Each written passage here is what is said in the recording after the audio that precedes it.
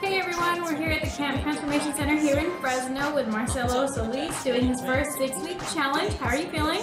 Excited. Good. Alright, so I'm gonna have you get on the scale. Alright, go ahead and get off. And you're coming in at 274.4. Hey guys, we're here at the Camp Transformation Center Fresno with Cello um, for his first weigh-in, and he's coming in at 274.4. So let's see where he's at after six.